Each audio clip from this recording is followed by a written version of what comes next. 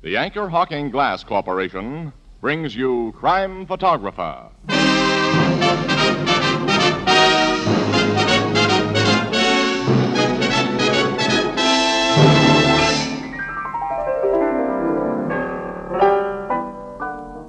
Say, Ethelbert, what's today's date?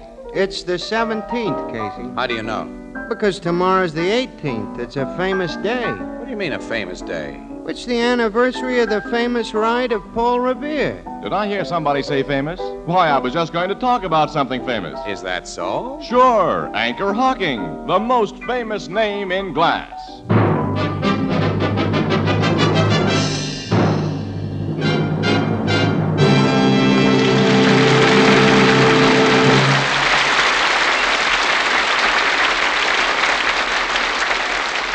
Good evening, ladies and gentlemen. This is Tony Marvin. Every week at this time, the Anchor Hocking Glass Corporation of Lancaster, Ohio, and its more than 10,000 employees bring you another adventure of Casey, crime photographer, ace cameraman who covers the crime news of a great city. Written by Alonzo Dean Cole, our adventure for tonight Box of Death.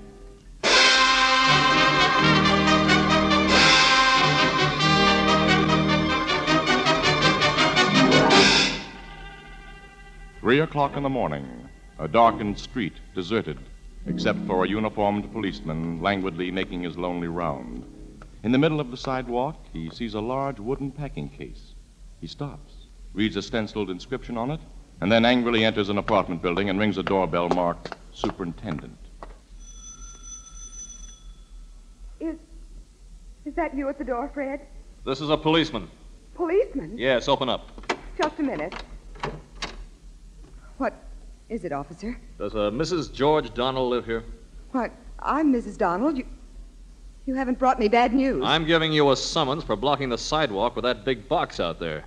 Big box. A wooden packing case. Someone will break his neck on it. But I don't know anything about a wooden box. It's got your name on it. Come and see. Okay. You know, for a moment I I was afraid you were here about my husband. Why should I be here about your husband?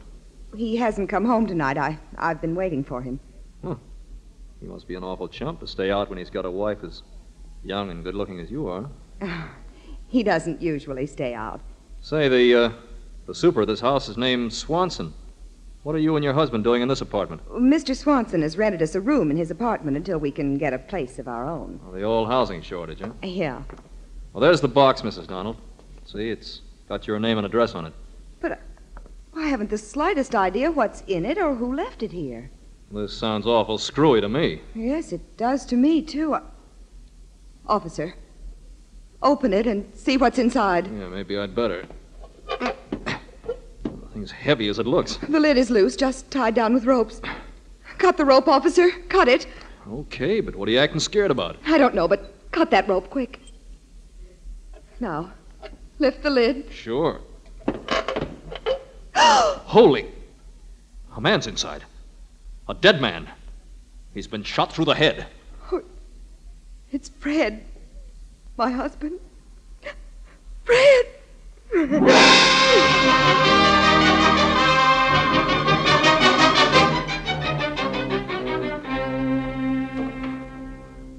Well, then, Captain Logan, I took this girl, this Mrs. Donald, as she called herself, back here to the super's apartment where I got on the phone and called you homicide, Dixon.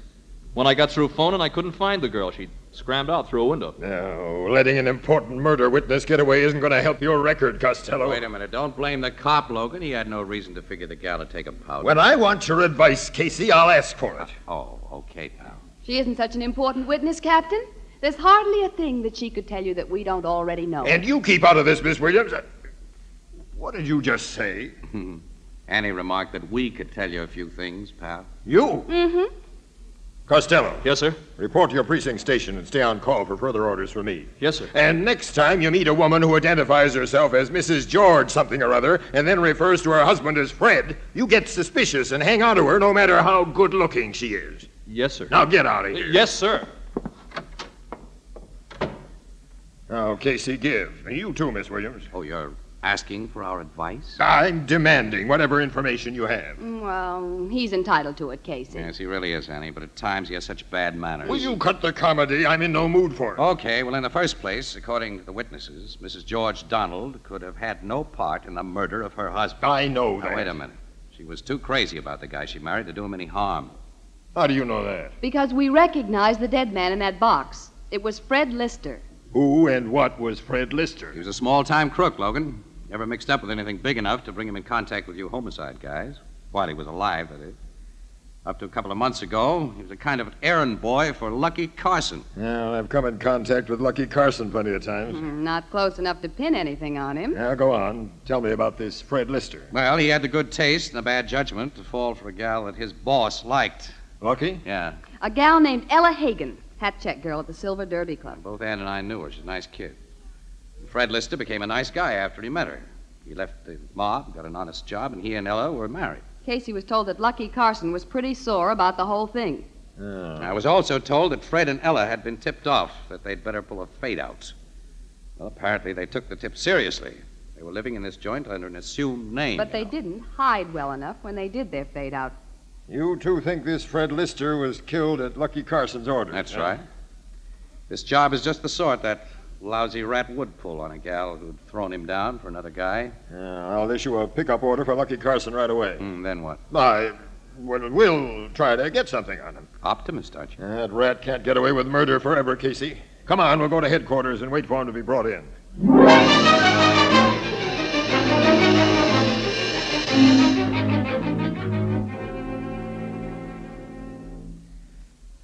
Know why you're always picking on me, Captain Logan. It's time you got wise to yourselves and lead off. I'll lay off after I'm able to prove something, Lucky, and you're out of circulation for keeps. That statement implies the malicious persecution of my client, Captain Logan. You keep out of this, Webster. And that's another thing. Of course, it was mere coincidence that your lawyer was with you when my men picked you up this morning. Sure. Purely coincidental, Captain.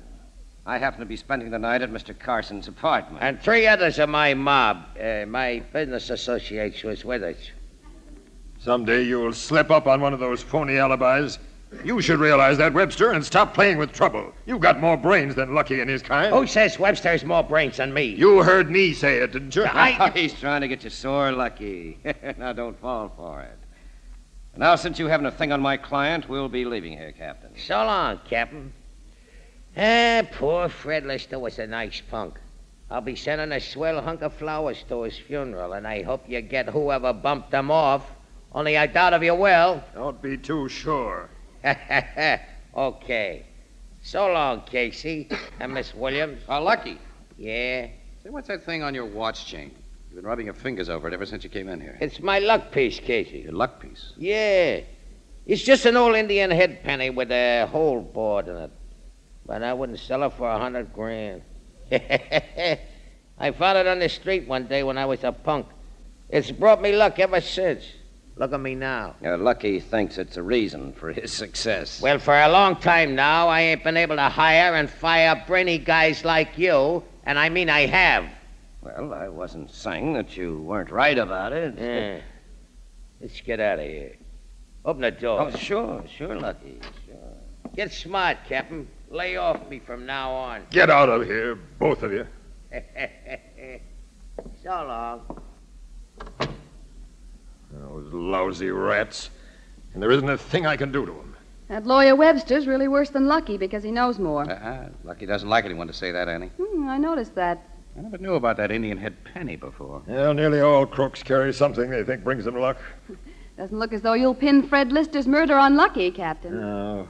From where we sit now, Miss Williams, there isn't a chance. Mm, I don't agree with that, Logan. Why not?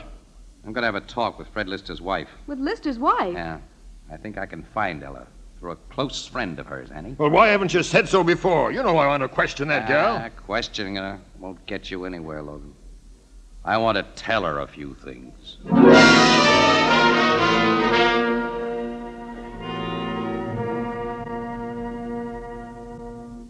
Ruth Judson had no right to tell you I was hiding here in her apartment, Casey. She knew I wanted to help you, Ella. Nobody can help me. Fred's gone. I, loved him, Casey. Now he's gone. Yeah, you've, you've had a rotten break, kid. I guess you've got an idea who killed him. I know who killed him. Lucky Carson. Yes. When you skipped out on that cop this morning, I figured you wanted to pay Lucky off uh, personally, right? That's my business. You know, Ella, murder is murder, even if it happens to be Lucky Carson. I have a plan to pay him off. I think I have a better plan to pay him off than you have. What do you mean? Well, Lucky considers himself quite a guy. He wouldn't be too much surprised if you paid him a visit, a, a social one. He's got a big yen for you. Talk straight. All right, Ella, I will. But don't tell me my idea's crazy until you've thought it over. Now, here's what I want you to do.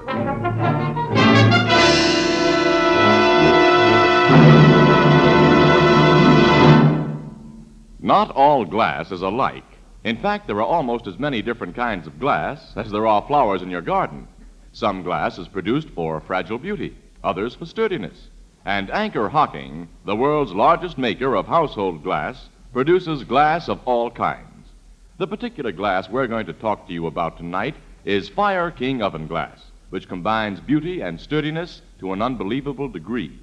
Now, you use Fire King oven glass for baking and for serving. It's so impervious to heat that it's guaranteed for a full two years against oven breakage. And a special Fire King process makes its surfaces actually mirror smooth. Fire King oven glass won't absorb baking stains. It won't absorb baking odors. It comes clean miraculously. Now, big two quart Fire King oven glass casseroles, pie plates, mixing bowls, and utility dishes of all kinds are now available at your favorite chain, variety, hardware, and department stores, all at incredibly low prices. Fire King oven glass is a product of Anchor Hocking, the most famous name in glass.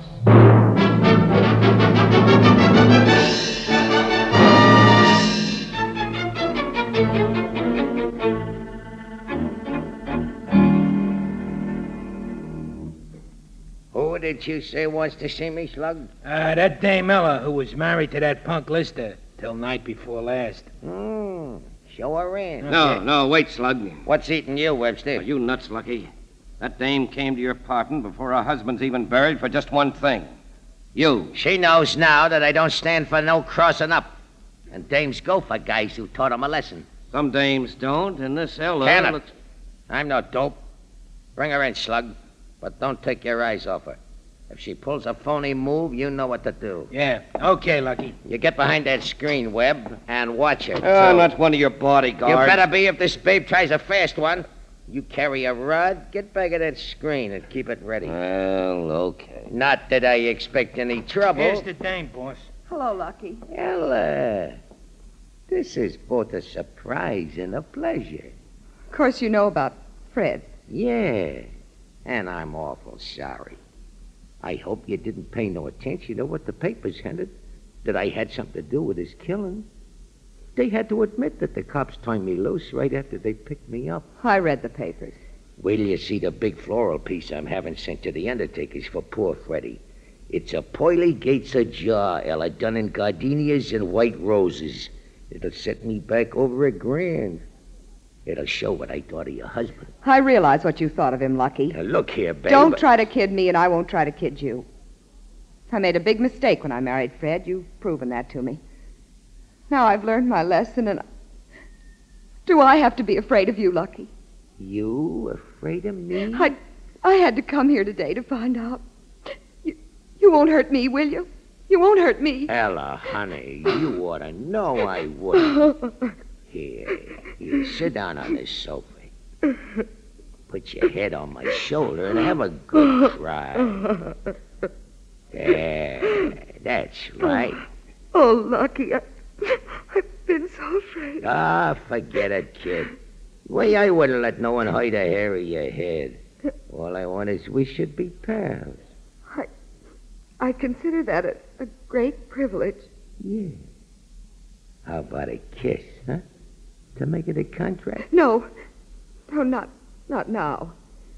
Not till after Fred is put away. Oh, I appreciate your sentiments.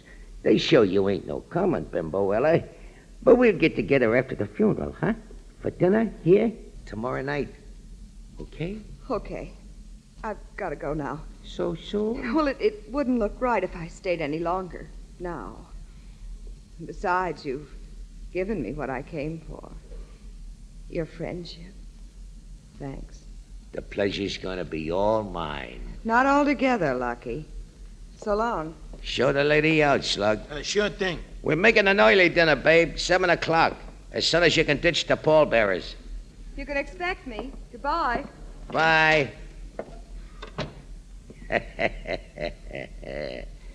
you can come out now, Webb. Oh, thanks. Well, she didn't try no fast ones, did she?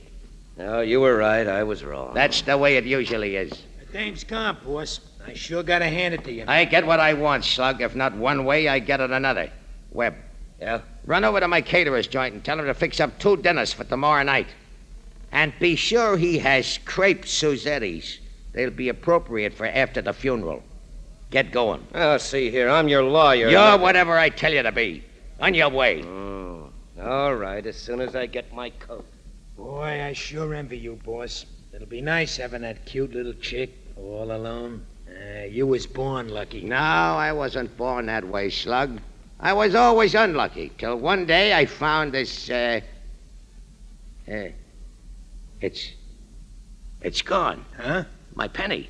My Indian head penny. Penny. And my luck piece. Look, Fred Webb. You too, Slug. Okay. Must have fallen on the floor. I know it was hanging on my watch chain just a few minutes ago. Well, I don't see it. it to Look lie. for you dopes! Well, I. I was rubbing my fingers on it for luck when Ella come in. So I'm sure I. Ella, What's the matter now? she took it. Stole it. That dirty little double crosser. Wait till I get her with my lucky penny. Come on, we're going after her. And look out, boss! He tripped over that footstool. Yeah. His head hit that piano leg.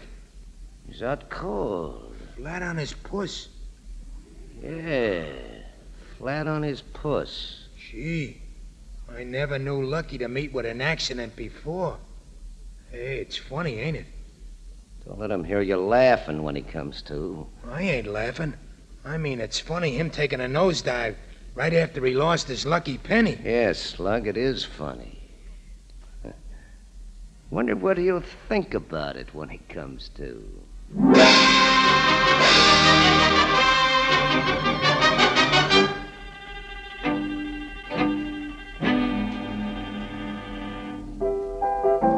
Casey, you were telling me about sending that gal Ella to Lucky Carson's apartment this afternoon. Oh, yeah, for- yeah. Well, I'd nearly finished, Ethelbert. Yeah. Well, she clipped the luck piece off his watch chain, and I was waiting for her outside in my car, and she got in. I took her back to her hideout, and that's all there was to it. You figure losing that engine head penny's gonna bother Lucky a lot? I think it'll do a lot more than bother him, Ethelbert. He's a dumb guy and a superstitious guy. The loss of that luck piece will drive him haywire. Mm-hmm. And when a crook in Lucky Carson's position doesn't watch every step he takes, well, he only has to make one mistake, Ethelbert. Yeah, which the cops will be watching for like a bunch of hawks. Captain Logan knows about your scheme, huh? Oh, sure. Yeah. He's giving Ella Lister plenty of police protection, too. You've told him where she's hiding out? Naturally. Well, Lucky's pretty sure to figure that she took that penny, and he'll try to get it back. Tomorrow he'll be tipped off to her hideout, accidentally, on purpose. And then, unless I'm completely wrong, he'll make his mistake. Say, uh, what's she done with the penny, Casey? I have it. Ella hates Lucky so much she didn't want anything around that belonged to him. Let me see the thing. There it is. Yeah, it's just an old penny with a hole in it. You think it's really Lucky? Of course not. How could it be? Uh, luck's mostly a matter of belief, pal. Self confidence, I guess. You got it or you haven't got it. Hmm, I don't know about that. I'll give you a buck for this penny, Casey. A bu- Look, if you want the thing, I'll give it to you, Ethelbert. You will? Well, sure, it's yours. Here. Oh, gee. Yeah, but don't let Lucky Carson know you've got it. You might find yourself in a spot. Oh, I won't let nobody know I've got it, except you, of course. Okay. Well, it's, come on, Annie. It's getting kind of late. I'll drive you home. Okay, I could do with a little sleep. Yeah. Well, good night, Ethelbert. Night, Casey. Night, Miss Williams. Night, Ethelbert.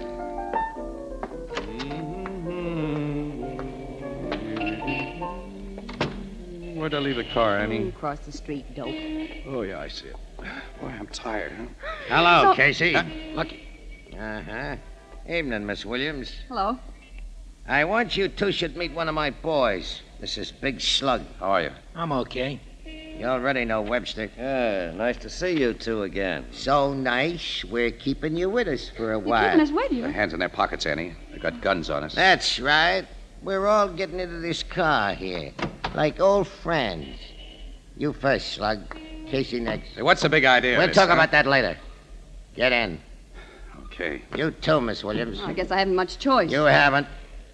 You drive, Webster. I'll sit in back with Slug and our friends. no, I'm a chauffeur. Get going. Okay. Where are we going? To keep you from asking so many questions, Casey. Here. Hit him with that gun. Give this babe the same, Slug. Sure. Well, they're both out nice, boss. Head for the country, Webb. When we get to a dark, deserted road, I'm going to have some fun.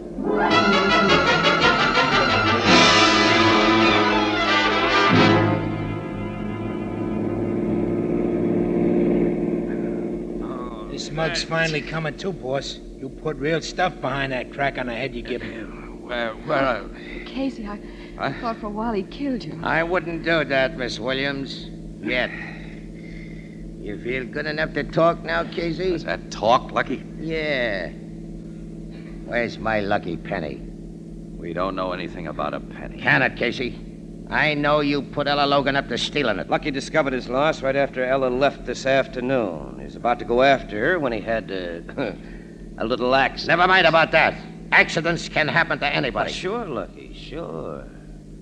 Anyway, I had the foresight to go to a window and see Ella leave the building and get into a car. And you, Casey, were driving that car. After that, it was easy to add things up. Very easy. I know you, Casey, and I told Lucky. I'd have figured it if you hadn't told me, Webb. Casey, you had that dame steal my luck piece because you knew I'd go after it. And when I went after it, the cops were going to be around watching when I started to twist Ella's double crossing neck. But I'm too smart for guys like you. I was waiting for you when you come out of the Blue Note Cafe. and here you are. Now, where's my penny? I don't know. No? No. You'd better come clean. You've already searched him. You know he hasn't got it. He can tell me where it is and how to get it. I think, I mean, Lucky thinks that Ella wouldn't keep anything that belonged to him because, uh, well, for some unaccountable reason, she doesn't like him. That's right, Webb. Hey, this is a nice lonely spot. Stop the car. Okay. Casey, I'm gonna make you tell me where and how to get back my luck piece. Pull him out of the car, Slug. Come on, guy. Come on. Casey, they'll torture you. I got. I No, got. to tell- no. Keep quiet, Ann. Big Slug here will break every bone in your body, Casey. Slowly. If you don't I come... can't tell you anything I don't know. Big Slug's an awful sap if he does anything for a boss who's lost his luck. Go to work on him, Slug. Wait. Listen to me, Slug, and you too, Webster. You guys have got brains. You taking orders from this dumbbell? Orders that may land you in the hot seat all because he's lost a penny? Hit him, Slug. Hit him. No, don't hit him. Webster! Talk, Casey. Webb and me are listening. Slug! I knew you guys had sense. This jerk you've worked for is washed up. All he ever had to keep him on top was a lousy copper luck piece, and he's lost it. He's sunk. He's through. That's a cockeyed lie. Slug and Webster don't think so, Carson. You're not lucky, Carson, anymore. Cut it. They're not saps enough to go through with your plan. They know every cop and every newspaper in town would go after our murderers and keep after them until they were caught. I've stood enough of this. You can't turn my guys against me, Casey. I'll show you. Webster. You shot him. Just as you're going to shoot Casey. Yes, Miss Williams. Thanks, fella. You won't regret that. I'm sure I won't, Casey. I've wanted to kill Lucky Carson for a long time. And this afternoon, Slug agreed that it was a nice idea. Yeah, a swell idea. Gee, thanks. Thanks for saving our lives. Oh, don't thank us yet, Miss Williams. or you, Casey. Why not? Uh, tell him, Webb. You and Miss Williams would prove awkward witnesses if Slug and I were brought to trial. Remember, I'm really a lawyer. You, you I mean to become boss of the former Lucky Carson mob. Yeah, and when your dead bodies are found close to Lucky's, why, the cops will figure he shot you and you shot him. That's right, Slug. You see, uh, Casey and Miss Williams, we're going to kill you with a gun Lucky didn't have a chance to use, and then return the gun to his dead hand. The gun I shot him with will be found close to you. Do you get it? You shot him and he shot you. we get it. Oh, Casey. No. Don't see any way out of this one, kid. There isn't any way out. Pick up Lucky's gun, Slug, and do the job. Oh, you thought up this swell idea, Webb. It's your right to do it. Well, I don't mind. First, I'll put this gun that I shot Lucky with near Casey so that it will look as if he dropped it. Yeah. Just right about here. now, You keep him covered, Slug, while I get Lucky's gun. No, you don't, Webb. Slug. Slug, what goes? You're the smart guy, Webb, but I'm smarter. I'm gonna be the boss of this mountain. No, don't shoot. Slug. Don't shoot. No. Well, he's done for. Now, lady and Casey, I'm. Oh, oh. Webster dropped his gun too close to me, Slug. Casey, did you, did you kill him, Casey? Did I kill him? I. I hope not, Annie. Hey, look, will you and see? I. I never shot a guy before.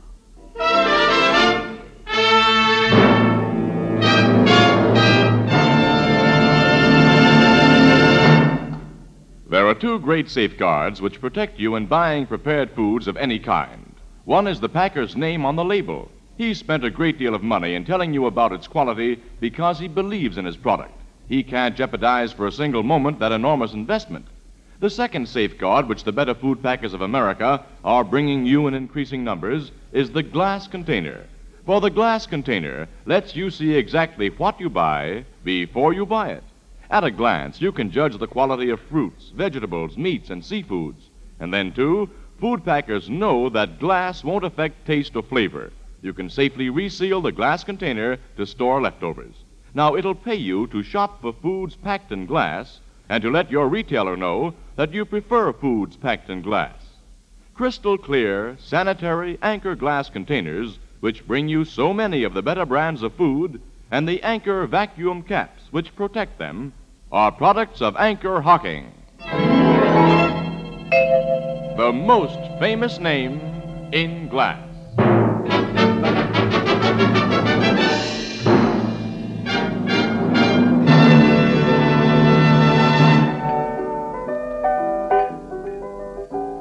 You didn't kill that big slug guy, huh, Casey? No, Ethelbert, he'll live. Until he goes to the chair for killing Webster. And Webster killed Lucky Carson. The gang's washed up. That's right. But not quite the way Mr. Casey figured on washing it up. Hmm. Well, okay, Annie, rub it in. I can take it. but I wasn't wrong about one thing that Indian head penny. If I hadn't put Ella up to taking it, Lucky and his mob might still be doing business, don't forget. You were wrong about that engine head penny itself, though. What do you mean? Huh?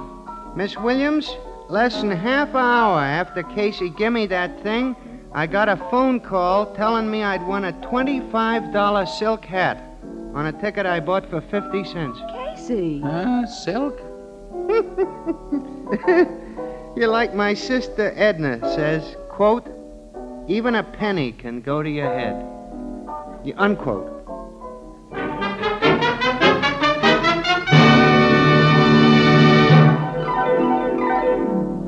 Crime Photographer, starring Staats Cotsworth as Casey, is brought to you each Thursday by the Anchor Hocking Glass Corporation, makers of Fire King Oven Glass, Anchor Glass Containers, Anchor Caps and Closures. All products of Anchor Hocking, the most famous name in glass.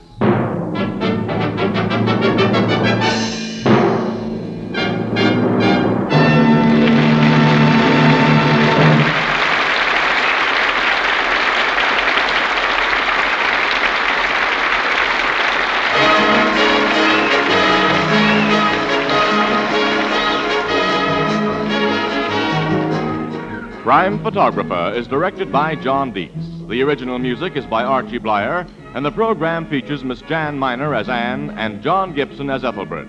Herman Chittison is the Blue Note pianist. Thursday night on CBS is the biggest show in town, so stay tuned for exciting dramatizations on Reader's Digest Radio Edition, which follows immediately over most of these stations.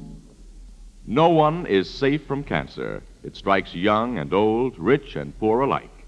Help bring this vicious killer under control. Give to the American Cancer Society's Drive for Funds.